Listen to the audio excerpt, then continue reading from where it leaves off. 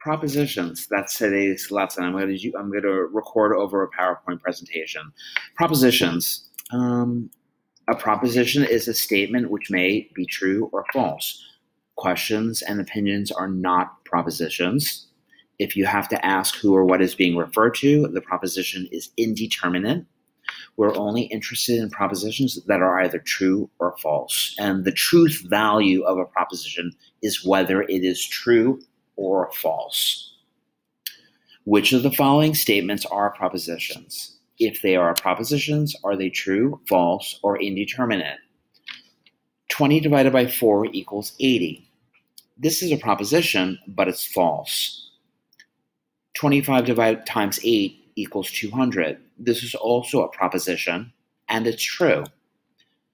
Where is my pen? This is a question, so it's not a proposition your eyes are blue. Well, since we don't know really who your is, it is a proposition, but it's indeterminate. We represent propositions by letters such as P, Q, and R. For example, P, it always rains on Tuesdays. Q, 37 plus 5 equals 42. R, X is an even number.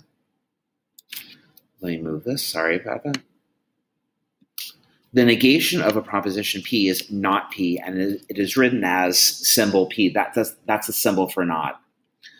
The negation of P, it is raining, is not P. It is not raining.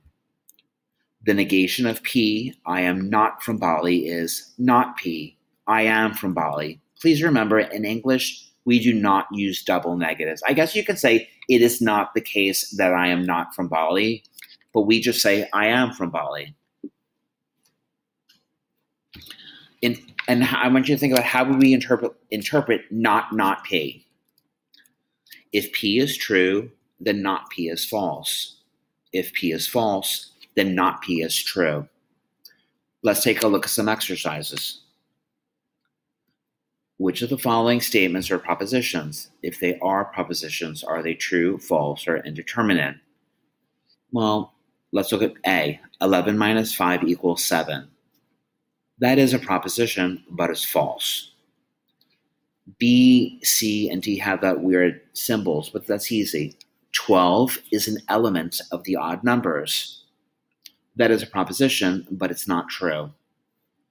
Three fourths, three fourths is an element of the rationals. Q stands for quotient or rational numbers. That's true. What about D? Two is an element of the of the is not an element of the rationals. Well, since I can write 2 as 2 over 1, it is a rational number. Um, take a little oh, look at all of these. Some of it might be a little advanced. See what you, you can do. On the next page, um, they want you to write down the, the negation, and then they want you to determine if the proposition or its negation is true. Once again, we haven't done some of the stuff in, in geometry, but you can look it up, see, see what's coming up. Um, yeah. All rectangles are parallelograms. That's true. All rectangles are not parallel parallelograms. No, that's false. Um, same idea here. You're exploring a lot of algebra and a lot of uh, phrases. Take a take a look. You have the whole weekend. You have this is due on Monday. Um, and then on the last page are the answers. Let me move myself out of the way. Here are the answers. Good luck.